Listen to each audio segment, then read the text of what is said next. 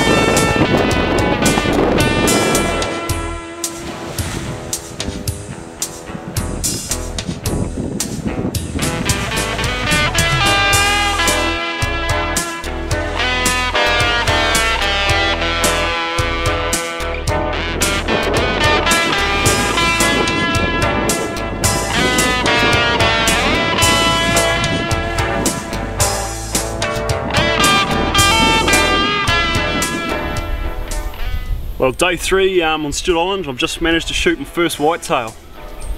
Um, yeah, pretty, pretty rapt. Came to a bit of an opening um, down by this little creek here, and this guy was on the other side looking at me, so a shot through the shoulder, and here he is. There's the big famous tail. And it's also my first deer with this uh, Weatherby Vanguard uh, 300 Winchester short magnum, so blooded the rifle as well. So a good day. Back to the hut now I think for a bit of a spear in the afternoon and hopefully get some fresh fish to go the deer for night tonight. Awesome.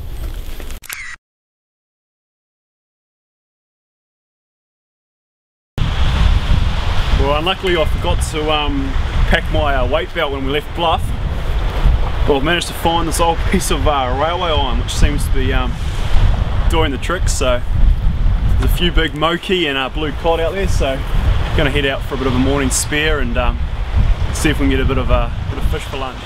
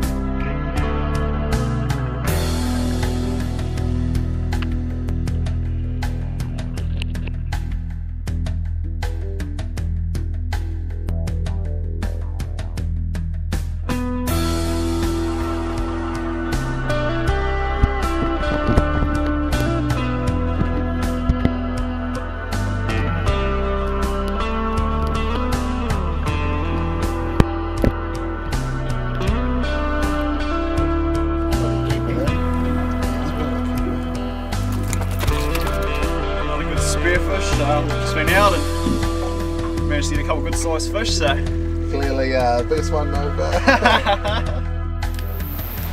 So what's going on here, Matt? Some uh, Stewart Island paua at its best.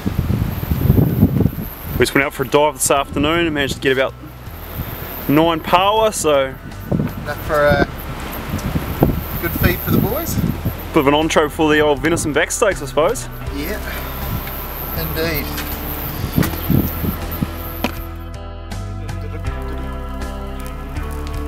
Big boy, you saw the big white tail.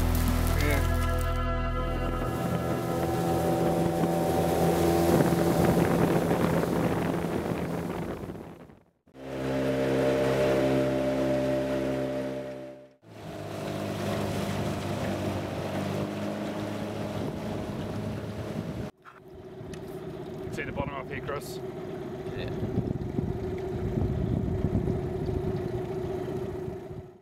Sweet, we'll see you back here about five or six. Yep, no worries. Catch you later. Good luck with the fish.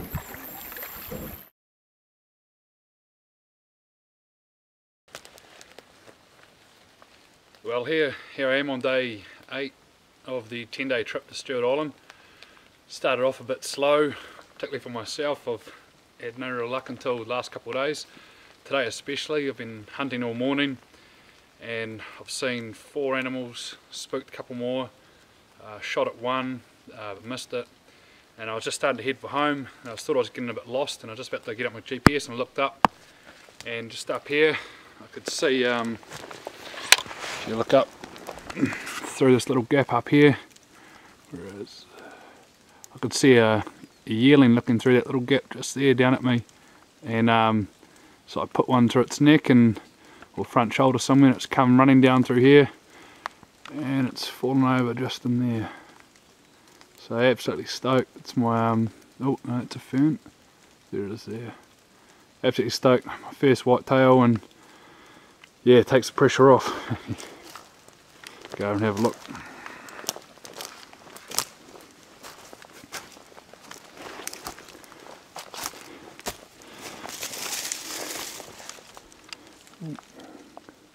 Yeah, so it's not a huge animal, but it's a yearling, probably a good animal to be taking this time of the year.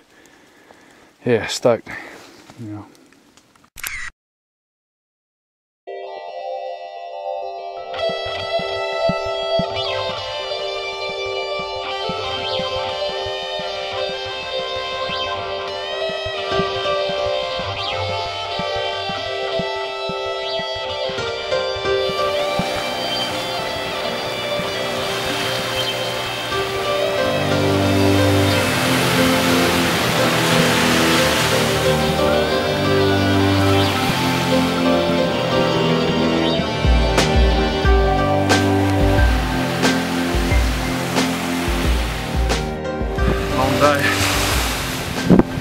Nice easy one, or Yeah, it was. It was easy at the end. Seen five, spooked two, shot at a stag, so just happy to get this. First whitetail? yeah. Good on you.